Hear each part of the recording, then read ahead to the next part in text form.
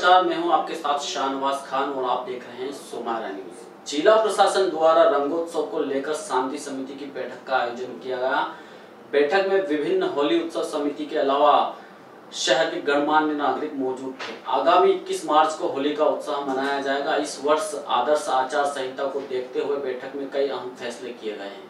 21 मार्च को होली का त्योहार शांतिपूर्ण ढंग से संपन्न कराने के उद्देश्य से कलेक्टर कलेक्टर कार्यालय में जिला दंडाधिकारी एस एन मोटवानी की अध्यक्षता में शांति समिति की बैठक आयोजित की गई। बैठक में रंगों के पर्व, होली का त्योहार को आपसी भाईचारा, शांति एवं सौहार्दपूर्ण तरीके से मनाने की अपील की गई। शांति समिति की बैठक में राजनंदा गाँव, नगर की गरिमा के अनुरूप सभी धर्मों और संप्रदाय के सम्मान करते हुए होली पर्व और समाज के सभी वर्गो के सहयोग से आपसी भाईचारे के साथ मनाने की अपील की गई। एडीएम ने बैठक के दौरान कहा की आगामी लोकसभा चुनाव के मद्देनजर आचार संहिता प्रभावशील है। आदर्श आचार संहिता का पालन अनिवार्य रूप से करना होगा। आदर्श आचार संहिता के प्रभावशील हो जाने से ज़िले में एक धारा भी लागू की गई है। सर्वोच्च न्यायालय के निर्देश अनुसार रात में 10 बजे के बाद ध्वनि विस्तारक यंत्रों का उपयोग करना वर्जित है। बैठक के दौरान किसी भी सड़क पर बीच सड़क में होलिका दहन करने को नहीं कहा गया है, जिससे आम आदमी को परेशानी हो। बैठक के दौरान एडीएम ने नगर निगम आयुक्त को होली त्योहार के दिन समुचित पानी की व्यवस्था करने को कहा है। इसके अलावा जिला सेनानी नगर सेना को चिन्हित स्थानों में गोताखोरों की भी तैनाती करने को कहा है।